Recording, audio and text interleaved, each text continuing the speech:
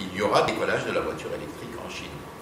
The electric car will take off in China. The question is when the catalyst will take place. But we're ready because Renault and Nissan both have electric cars that are ready to be made for China.